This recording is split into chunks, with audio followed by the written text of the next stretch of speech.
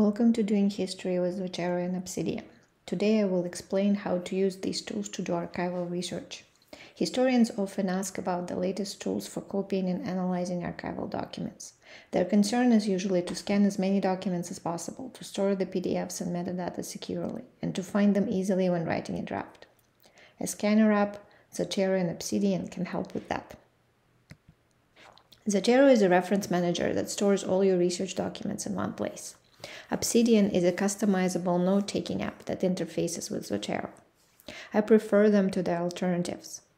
Tropy is another app that, that stores archival photos, and it's pretty sophisticated, but it does not store your secondary sources. It is not a note-taking app or reference manager.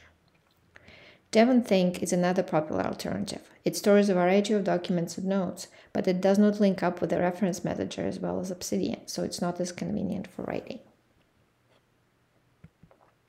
To do my archival research, I created my own setup. This is what I'm showing today. My website explains it in more detail.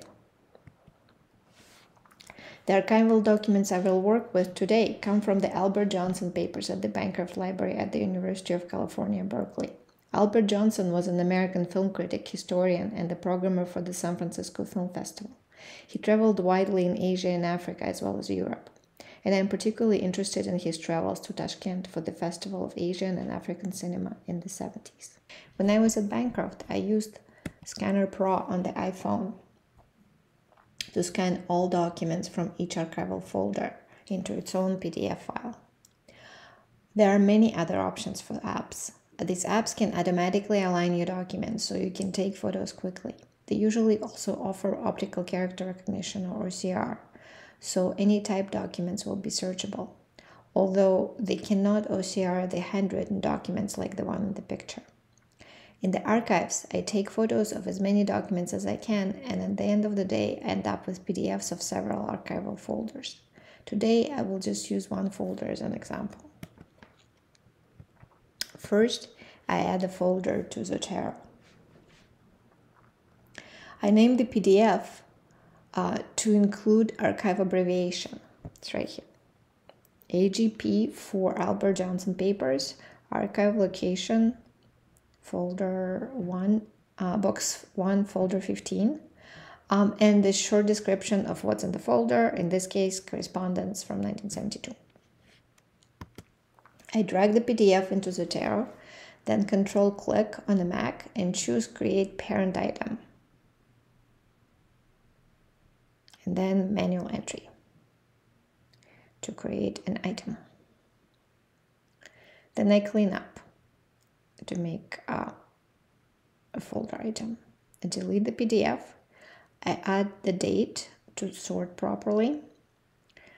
Um, in archive and location and archive fields, I enter information as it should appear in the citation for any document with that within that folder.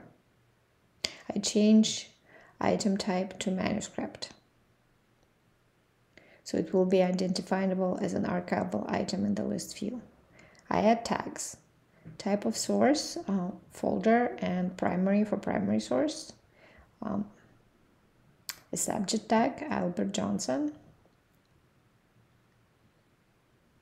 and the name of my research project.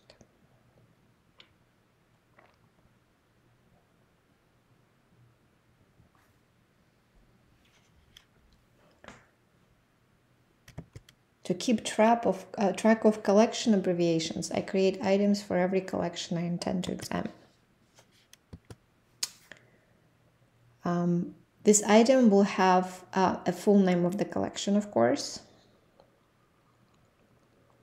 Um, also information about the depository, dates, abbreviation, and the link to the finding aid. Um, I use manuscript item time for these items but tag them as collection. This is also useful because you can export these collection items into archive collection section of your bibliography. To keep my folder items easily accessible, I create a saved search folder for the item via advanced search. Uh, set up a search for archive is AJP and tag is folder. Then click Save Search. Enter the name of the Save Search.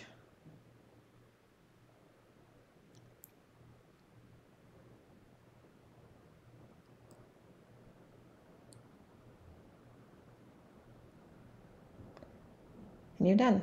And this helps me to keep track of what I scanned. I don't delete these folder items or any pages in the PDFs as I process the folders further. Next step is to extract the one document from the folder and add it to Zotero.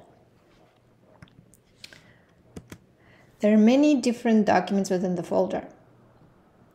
But I know that the first letter and invitation to the Tashkent Film Festival I will definitely need.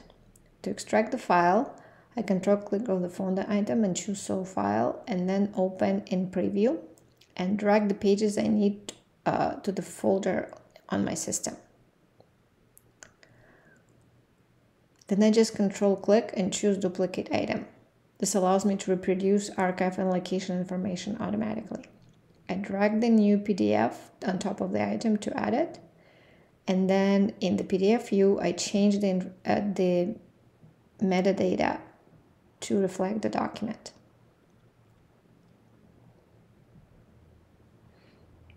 So February 18 for the date. Um, this is the author of the letter, Kayumov.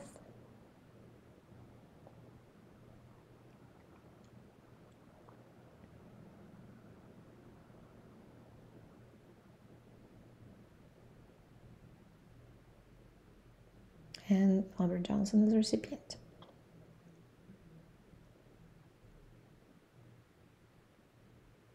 Last thing to do is to delete the tag folder um, to make sure that my saved Search for folders doesn't include individual items. Now I need to annotate the document. I open it in PDF view The left pane will display annotations. I highlight as many passages as I, I think is necessary for separate notes.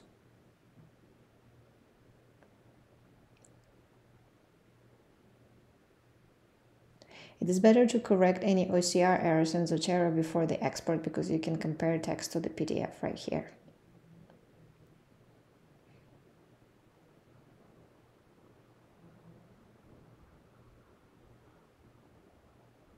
Now you're ready to import annotations into Obsidian.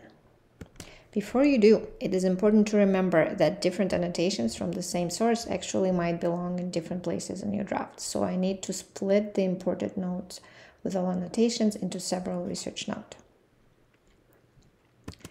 Pay attention to the keyboard commands that appear in the lower left corner of the screen as I type the shortcuts. I use the command R shortcut to call up Zotero search from Obsidian. Then type keywords to find the source and hit enter.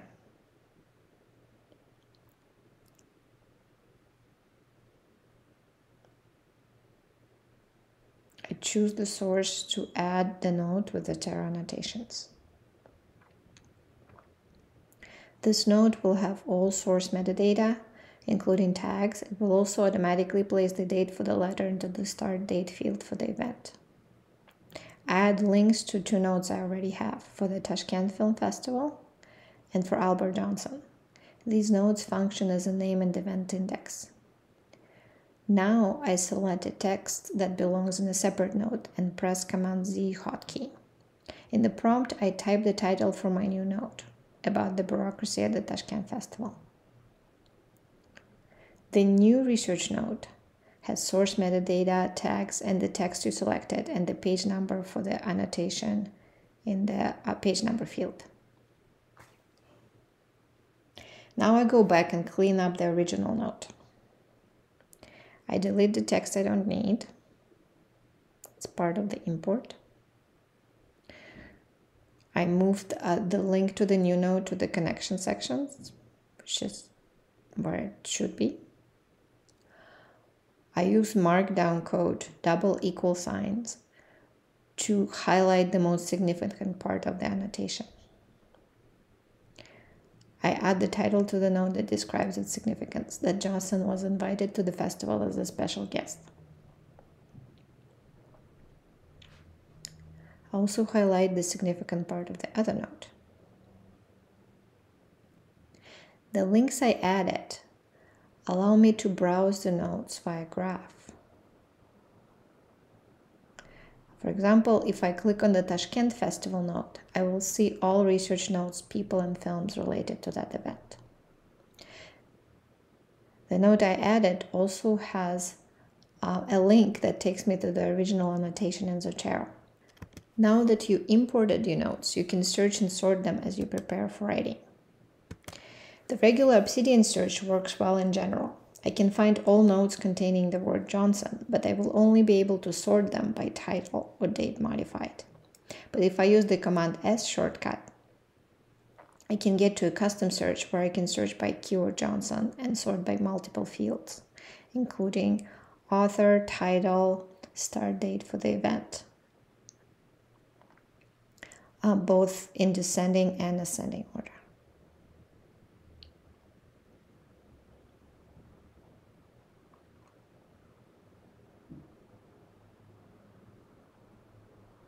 You can also search by source fields. For example, I just added a node where Kayumov is the author of the letter, but I can also check if any of my sources have Kayumov as a recipient in there too. They also show that his first name is Aziz. The source I just imported only had his initial. I can open any found node in the search view, but I can also press the command N shortcut to open it in a view where I can see the local graph for the node. I continue to browse through the link nodes via the graph as well. To sum up, the workflow helps to keep track of scanned sources, enter metadata so you can cite them correctly, and break the material into individual research notes. You can then process them, tag, index, link, and add your own comments. Then search and sort them to slot into a particular section of your draft and start writing. To try these features, you can you'll need to download Zotero, Obsidian, and the Starter Vault for Historians that I made. All these tools are free. You download the Vault the zip file from the GitHub page. Open um, and uh, you have to change the folder title after.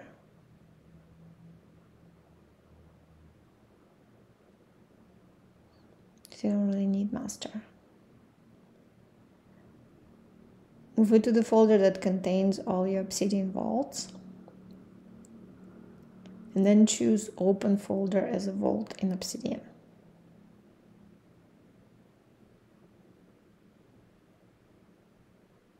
Choose to trust my plugins and start working. The Vault comes with sample notes and directions on how to use it.